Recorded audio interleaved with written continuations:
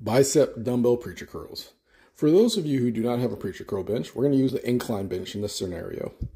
Raise the incline bench up all the way to the point where your armpit can fit over the top. From there, we're going to take our dumbbell, in this case I'm using a center mass bell, and we're going to extend our arm all the way down and then curl our arm all the way up just outside the side of our head. From there, we'll return it all the way back. After we finish our desired reps, switch arms and repeat.